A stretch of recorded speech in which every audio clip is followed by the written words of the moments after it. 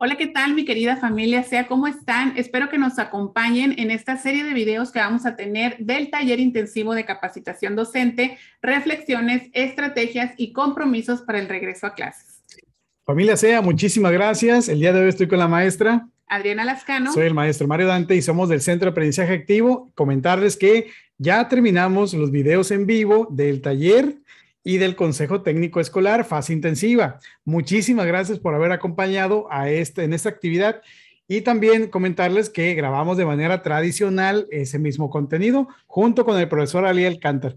Tenemos los cuadernillos, pero en esta ocasión vamos a iniciar con los anexos. Así es. Los anexos para ayudarles a todos ustedes y si les parece bien, pueden enviarlos para poder hacer más, más llevadero, más ágil toda esa parte. El día de hoy vamos a revisar el anexo número uno de este taller.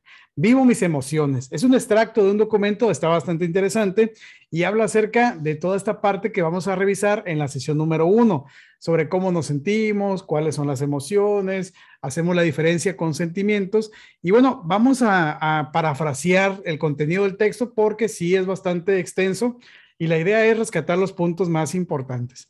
Para iniciar, es importante que les comentemos que en el texto se menciona que cuando de pronto nos preguntan cómo te sientes, pues solemos decir bien o más o menos, o depende si alguien, así es, sí. Si tenemos mucha confianza, a veces sí podemos abrirnos un poquito más y decir que mal. Y de pronto, como personas, solemos alejarnos de las emociones que consideramos malas y lo hago de esta manera porque más adelante en el texto nos platican los autores acerca de que no existen de cierta manera emociones buenas ni malas, existen emociones positivas, negativas, por así decirlo, y más bien son emociones que son agradables y otras que son desagradables. Ahorita lo vamos a platicar esa parte y tiene que ver con este recuadro eh, de color rosa que aquí aparece emoción y sentimiento son lo mismo. Adriana, si me ayudas a leer esta parte, por favor. Sí, así es. Aquí nos dice, dentro de emoción y sentimiento, está haciendo una separación de ambos conceptos y nos, nos dice, como podemos ver, una emoción es una respuesta a cambios que se generan interna o externamente. Cuando hablamos de sentimiento, nos referimos a la toma de conciencia de la emoción. Los sentimientos son dirigidos hacia una persona o un objeto. Y aquí nos, nos brindan diferentes ejemplos. ¿Qué sucede con esto? Lo que sucede con esto es que la emoción es lo que siento en el momento. ¿sí? De repente a mí me traen un regalo y me pongo feliz, se me ilumina la cara, eso lo voy a sentir a nivel fisiológico y lo voy a externar. Inmediatamente mi cara y mi expresión corporal se van a dar, eh, se van a manifestar ante la, la, emoción que yo estoy viviendo. Si de repente llegan y me dicen una mala noticia, es que está enfermo tu perrito, por ejemplo, pues inmediatamente eh, eso desencadena en mi cuerpo, en mi organismo, diferentes hormonas que me hacen sentir triste, mi cara, mis músculos, mi expresión corporal se torna diferente. Entonces, de esa manera es como expresamos y manifestamos em, la emoción. Pero los sentimientos, perdón. No, sí, adelante, adelante, te escuchamos con todo gusto. No, si quieres comentar. Bueno, el comentario aquí que puedo hacer en este momento es que todas las emociones y sentimientos, pues es algo de información que nos da a nosotros mismos. En este caso, en el ejemplo que comenta la maestra, a lo mejor estamos preocupados y necesitamos hacer algo para poder atender a nuestro perrito en este caso, ¿no? Claro. La emoción es instantánea, es una respuesta del organismo hacia, hacia, hacia esa emoción que se está viviendo en este momento. Y el sentimiento es cuando ya nos referimos conscientemente a, ese, a esa emoción que estoy sintiendo. Por ejemplo, también el sentimiento puede durar mucho tiempo. Yo puedo estar mucho tiempo enamorada, también puedo estar mucho tiempo enojada con una persona a lo mejor que me hizo daño. Entonces, esa es la diferencia. Y más adelante eh, vemos una clasificación precisamente, ya que nos debe de quedar claro primero cuál es la diferencia entre emoción y sentimiento. Claro que sí. Aquí un ejemplo muy interesante, muy categórico, dice, a diferencia de una emoción que puede durar desde un minuto a varias horas, los sentimientos pueden tener una larga duración en el tiempo incluso toda la vida. Exacto. Entonces, que no es bueno, ¿eh? porque ya lo hemos visto y se los comento aquí nada más como flachazo. Es importante trabajar los sentimientos, porque los sentimientos no deben de quedar eh, permanentemente, y estoy hablando de los sentimientos o de la, perdón, sí, de los sentimientos que, que, me generan emociones negativas. Por ejemplo, una persona que no está, que siempre está enojada, que siempre está malhumorada, que incluso a veces hasta ya dicen, híjole, pues vete con cuidado porque ya viene fulanito o fulanita, ¿no? Entonces, ese, ese tipo de emociones me generan sentimientos duraderos, imagínate, que estés feliz o enamorado mucho tiempo, pues qué bueno, pero que todo el tiempo estés molesto, estés haciendo rabietas, estés enojado, pues eso no es bueno y eso tiene que ver cómo gestionas tú tus emociones.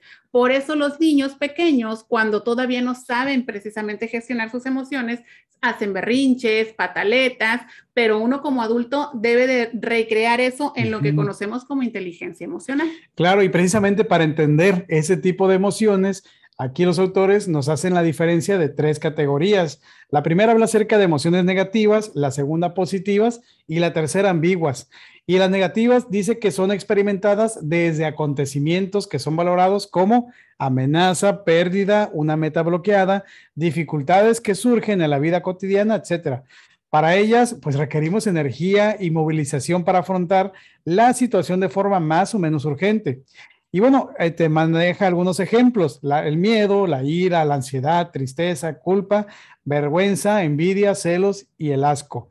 En cuanto a las positivas, dice que se experimentan ante acontecimientos que se valoran como un avance respecto de los objetivos personales. Y fíjense, aquí habla acerca de algo muy importante, objetivos personales. Entonces, cada quien va a experimentar emociones positivas conforme a nuestra historia personal, nuestros deseos, nuestras metas, nuestros objetivos. Es decir, nosotros somos el punto de referencia, ¿sale? Entonces, eh, centrados en asegurar la supervivencia y progresar hacia el bienestar. Estas emociones son agradables y propician disfrute y bienestar. Algunas son la alegría, el orgullo, el amor, el afecto y la felicidad. Y bueno, hay emociones ambiguas. ¿De qué se trata esto? Pues algunas veces pueden ser positivas eh, y en algunas ocasiones negativas según las circunstancias. Por ejemplo, una sorpresa puede ser positiva o negativa según lo que la ocasione. La esperanza se experimenta ante algo que ocasiona sufrimiento y que confiamos que se podrá superar. Algunas emociones ambiguas son la sorpresa, la esperanza, la compasión, emociones estéticas, aquellas que experimentamos ante una obra de arte o ante la belleza. Así es, porque ya van a depender de la apreciación de cada persona. Bien, y más adelante en el texto nos habla acerca de esta forma de categorizar las emociones universales de Ekman y nos habla precisamente de la felicidad, el miedo, el enojo, la tristeza, el asco y la sorpresa.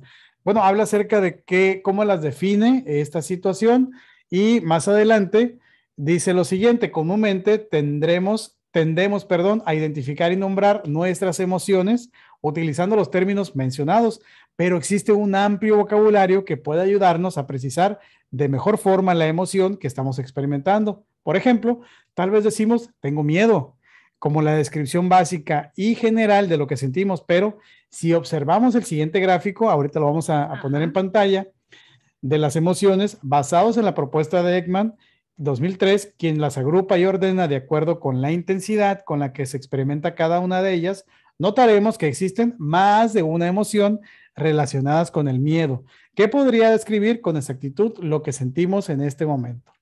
Y aquí está la gráfica Básicamente, pues lo maneja y lo categoriza con lo que ya hemos platicado de las emociones, la felicidad, la tristeza, el miedo, el asco, el enojo y la sorpresa. Y por ejemplo, en la felicidad tenemos placer sensorial, regocijo, compasión y alegría, la diversión, el alivio, paz, orgullo, asombro, excitación y éxtasis. Así se pudiera manejar lo que es la felicidad. En la tristeza, decepción, desánimo, congoja, resignación, impotencia, desesperanza, desdicha, desolación, aflicción, pesar y angustia. En el miedo tenemos la inquietud, nerviosismo, ansiedad, temor, desesperación, pánico, horror, terror.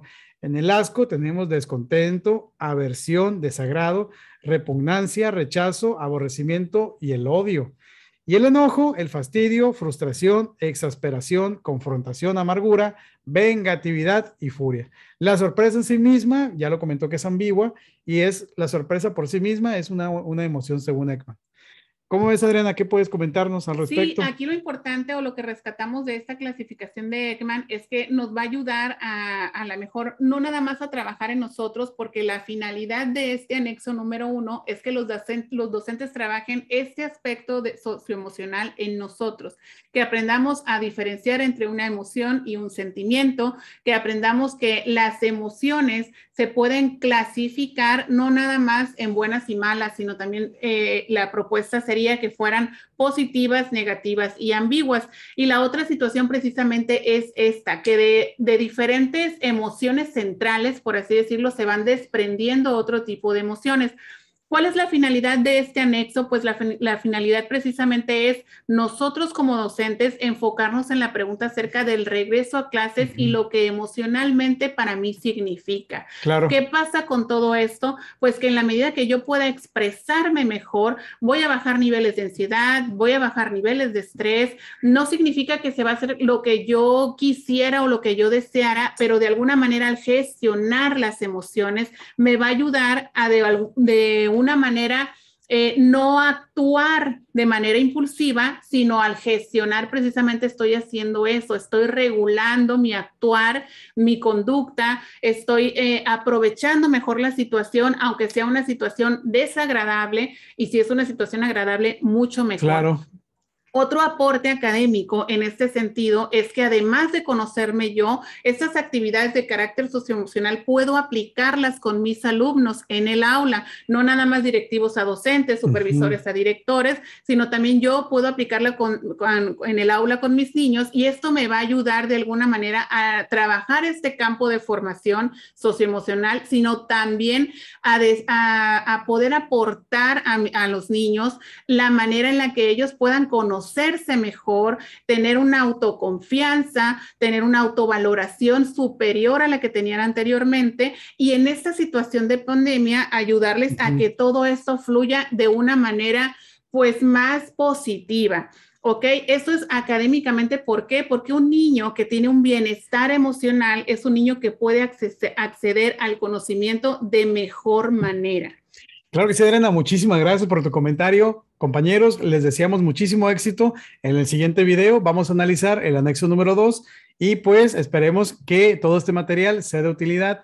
Les recordamos que si les gusta este tipo de contenidos, los invitamos a dejar un me gusta, a que se suscriban, a que lo compartan con otros compañeros y en la descripción de este video puedes ingresar a los grupos de difusión de WhatsApp o también a nuestro canal de Telegram para estar enterados de toda la información. Nos vemos, Adriana, y Así les deseamos es. lo mejor. Hasta, Hasta la, la próxima. próxima.